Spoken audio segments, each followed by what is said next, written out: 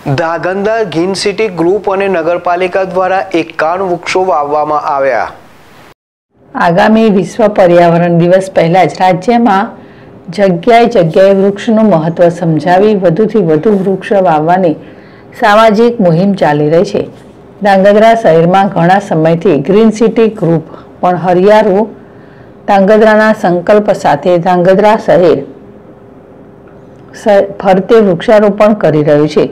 આ સાથે ધાંગધ્રા ભાજપ સંગઠન અને વિવિધ મોરચા પણ કાર્યક્રમના કાર્યકરોના જન્મદિવસને વૃક્ષારોપણ થકી ઉજવણી કરવાની સુંદર મુહિમ ઉપાડેલ છે. ત્યારે પાલિકા વોર્ડ ચારના કાઉન્સિલર ટપુભાઈ લુકમના જન્મદિવસ નિમિત્તે ધાંગધ્રા નગરપાલિકાના વિશેષ સહયોગથી ધાંગધ્રા ગ્રીન સિટી ગ્રુપ અને શહેર ભાજપ સંગઠન દ્વારા વૃક્ષારોપણ કરવામાં આવ્યું હતું.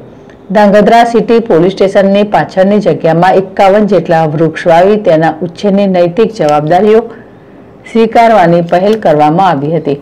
આ તકે ધાંગધ્રાના લોકલાડીલા અને રાજ્યના પૂર્વ કેબિનેટ મંત્રી આઈ જાડેજાએ દરેક વૃક્ષનું વાવેતર કરેલ પણ એના ફરજિયાત ઉછેરની સ્વૈચ્છિક જવાબદારી નિભાવી તે જ સાચું વૃક્ષારોપણ એમ જણાવી આગામી દિવસોમાં હરિયાળી ધાંગધ્રા બનાવવા દ્રઢ સંકલ્પ લેવડાવ્યો હતો.